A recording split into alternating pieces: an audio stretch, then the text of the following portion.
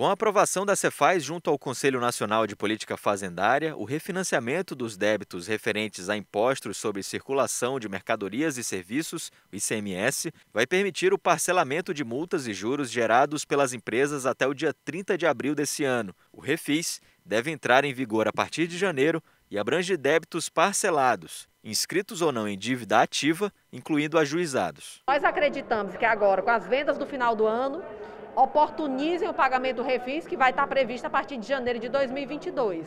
E aí com muito desconto, nós abrimos mão né, de uma parcela significativa de juros e multa, justamente para o pessoal ficar regular e começarmos bem o ano de 2022. Uma medida já em vigor desde o dia 1 desse mês e que agradou os dirigentes lojistas foi a substituição tributária dos setores de confecção e têxtil. Considerando que muitas empresas também aí ficaram pelo meio, de, meio do caminho porque não conseguiram, é, é, não conseguiram competir com a informalidade que existe no centro de Fortaleza, e agora não, né? com a substituição tributária, todos pagam o imposto logo na entrada e daí então todos ficam iguais. Ainda sobre o ICMS, uma pauta que está sob forte discussão é a cobrança desse imposto sobre os combustíveis. Na noite de ontem, o Congresso Nacional aprovou por 392 votos a favor e 71 contra um projeto de lei que altera a periodicidade em que é calculada a média do preço final ao consumidor, que hoje é feita a cada 15 dias. Segundo a proposta, esse cálculo passaria a ser feito anualmente com base nos dois anos anteriores. Para defender a proposta, o presidente da Câmara, Arthur Lira, afirmou que a medida poderia diminuir o preço da gasolina em até 8%.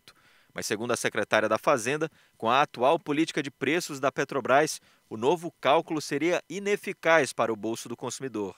Traz uma, uma deformidade para o sistema em troca de absolutamente quase nada, gente. Por quê? Você deve ter um redutor do ICMS da ordem de 30 centavos para um, um, combustível que está custando 6 reais e que certamente, com o próximo aumento da Petrobras, que tem sido muito profícua em fazer aumentos, no próximo aumento essa redução já ela vai se esgotar e vira fumaça. Então, eu acho que isso afirma uma mentira para a sociedade, não é um bom projeto, não traz união. Se o projeto de lei passar no Senado e for sancionado pelo presidente da República, o novo cálculo pode causar um baque na arrecadação dos estados, estimada em 24 bilhões de reais. No Ceará, a previsão é de uma perda anual na casa dos 600 milhões de reais, segundo a Cefaz.